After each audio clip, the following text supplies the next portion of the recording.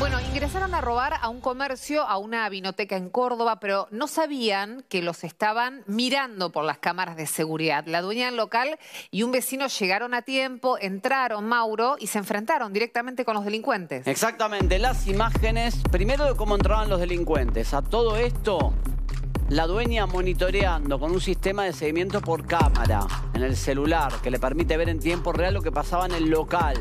Y para ganar tiempo, cuando ve que están los ladrones adentro, llama, se conecta con un vecino, comerciante también, y le dice, che, anda yendo para el local, dame una mano, hay chorros adentro.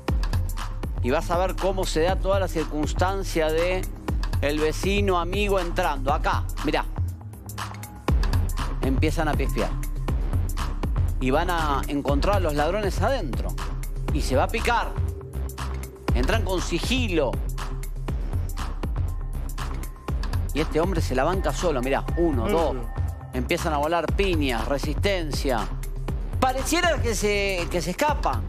Si uno mira el, el video. Impresionante, ¿eh? La decisión de ir. No sabes si están armados, si te pueden pegar un tiro. De encararlos en pleno asalto. Pero este hombre con esta mujer, que no sabemos si es la dueña o una persona que llega con él, porque la dueña lo va monitoreando por celular, los enfrentan. Bueno, ¿qué pasó cuando salen?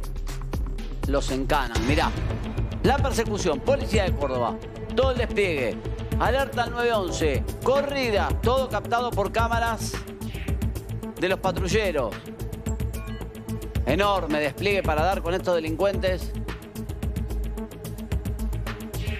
Y de esta manera, un detalle, ¿no? Mira, los policías en, Bermuda pareciera como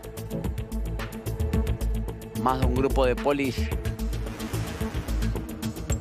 como los de la playa, parecen, es cierto. Pero en definitiva lo que vale para contar es que los detienen combinado entre la resistencia del vecino, del comerciante amigo de la víctima. Empiezan a mostrar los objetos secuestrados, las pertenencias, una punta. Bueno, impresionante toda la secuencia.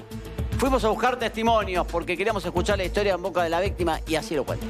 Y yo cerré el negocio alrededor de la 1 y 40 y 1 y 43 me llama mi mamá diciéndome que dónde estaba. Yo le dije que estaba yendo ya para mi casa, que estaba por la Julia Roca, para que ella me abriera. Me dice, ¿cómo que estás por la Julia Roca si hay un hombre en tu vinoteca? Entonces frené el auto, pongo a ver las cámaras y sí, había un hombre. Mientras llamo a mi vecino de acá, eh, Ezequiel, de, tiene un comercio también acá al lado. Le digo, por favor, espérame en la puerta, le digo, porque hay gente en la vinoteca. Y entramos. Y él les grita, ¿qué hacen? Y uno le grita, creo, salí de acá y se vienen los dos rápido. Le tiraron con pan dulce, mano, todo. Y él antes de eso me dice que salga y que cierre la reja. Salgo, cierro la reja y bueno, justo a mí me empujaron con la reja, salen y llega el patrullero que detiene a uno justo acá en la puerta del local y el otro alcanzó a tirar una bandolera y a cruzar eh, a la estación de servicio donde ahí lo detuvieron.